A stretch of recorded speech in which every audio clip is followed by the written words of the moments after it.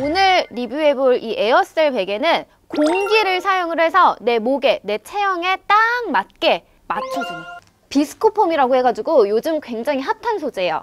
쫀쫀하면서 적당하게 탄성이 있어서 좀 받쳐주는 요게 진짜 요게 포인트거든요.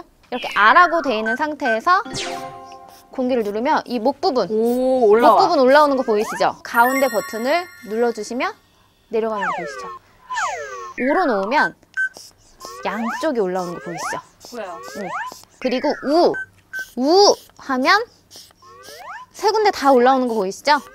여기, 여기, 여기. 그리고 이게 라돈 엄청 핫한 거 아시죠? 그렇죠. 얘는 라돈 검출도 안 된다는 거. 베개 이것도 써보고 저것도 써보고 이렇게 베개 유목민처럼 너무 돌아다니지 마시고요. 여기에 좀 안착하셨으면 좋겠어요.